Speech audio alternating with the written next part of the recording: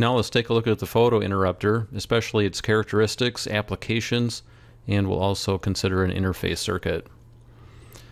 Here's the photo interrupter that's included in the MyRIO starter kit. This is a device manufactured by Sharp. On the side here you'll see a portion of the full part number. Now this is called a photo interrupter. That means there's an optical light path that's established between the emitter and the detector. The emitter is an infrared LED, and it means you won't actually see anything. But the detector is also sensitive to infrared radiation, and it detects whether or not the optical path is blocked. Now, the photo interrupter also is referred to as a photo gate. Let's take a look at some characteristics of this particular device.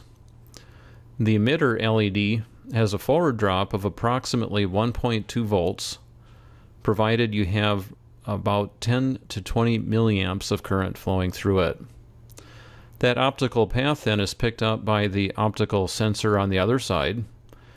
Sensor output is amplified, passed through a Schmitt trigger, and then it operates this NPN transistor right here.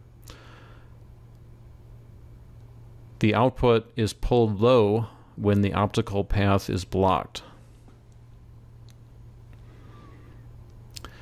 The recommended supply voltage is 4.5 to 17 volts. Taking a look at the pinout for this device, as viewed from the top, we have the anode and the cathode appearing on this side. You'll note that pin 1 is the shorter lead, that's the anode. These three leads are associated with our power supply, ground, and output.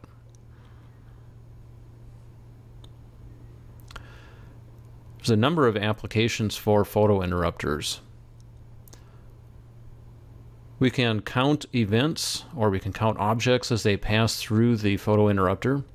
We could take timing measurements and calculate speed or if we were using rotational motion, we could set up a tachometer with this device.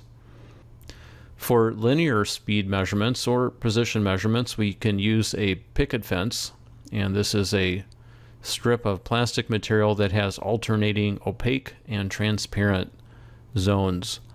The opaque zone would block the photo interrupter, giving us a low output, while the transparent zone gives us a high output.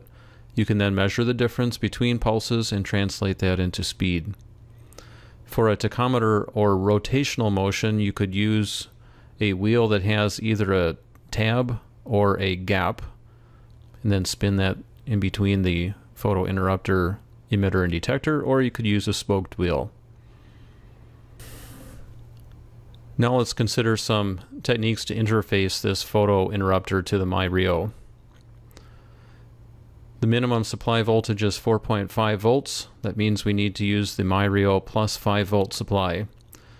I'll assume that we're using the same 5 volt supply to bias the current through that infrared LED.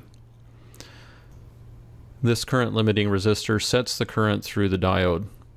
We have approximately 1.2 volts forward drop. Here's the current through the LED, which is the same as the resistor current.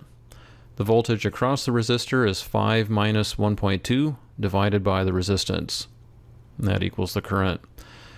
I'm going to interchange the position of I and R to solve for the desired resistance for a given current. We'll go with 10 milliamps here.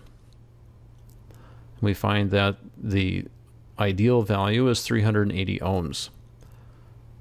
Now let's consider some nearby standard resistor values. Here's a number of different values. I took some measurements of my own and came up with these currents.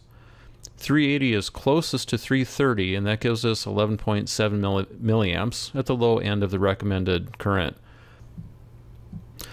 I also learned that you can go a little bit lower if you like. That value also worked fine. You can connect the output directly to either the MXP or MSP digital inputs because they are both 5 volt tolerant inputs.